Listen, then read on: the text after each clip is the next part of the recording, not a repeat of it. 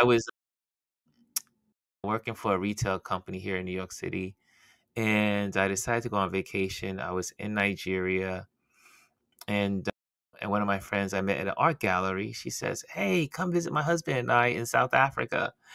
And and so a couple of years, a year had gone by, then I was able to go, and then the second year I was able to go. So I'm in Nigeria. I say, "Hey, are you guys home?" I get on the plane, and they say, "Yeah," because they say yes. I get on the plane. I fly down from Nigeria into South Africa, and then I spend time with them. And while I'm there, uh, I'm photographing everything. I'm running around South Africa, you know, Cape Town, just photographing, meeting people, just talking, sharing, laughing, just doing everything I can. I was there for couple, several days, and and it was so much fun. But then a gentleman, one of my friends, said, "Hey, I've been looking at your photos. They're amazing.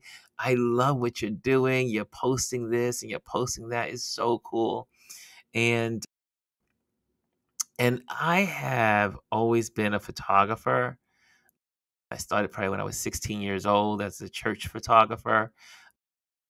I was working for a retail company here in New York City, and I decided to go on vacation. I was in Nigeria, and uh, and one of my friends I met at an art gallery, she says, "Hey, come visit my husband and I in South Africa."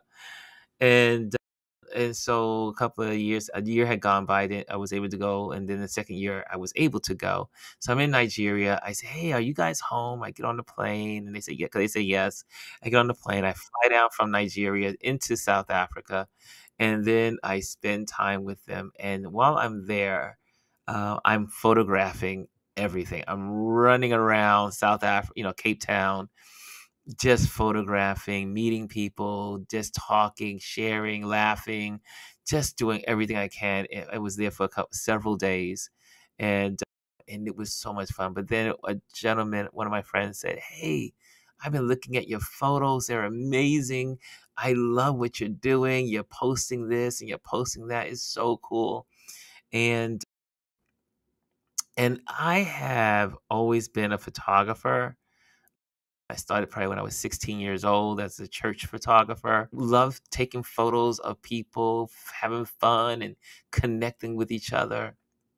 And so time goes on, I kind of like put the, the my you know my photography on a shelf and got into work and business and going to college. I was in school at the time studying air, aerospace engineering and out in what was called the Academy of Aeronautics, which is now called Vaughn College here in in, in New York City, and and then end up working on Wall Street and work at the stock exchange. And life had passed by, and before I knew it, my photography was like hit and miss. I would do it and then not do it, and do it and not do it. And then all my friends that would see my work would say, "You need to do this. You know, you really need to really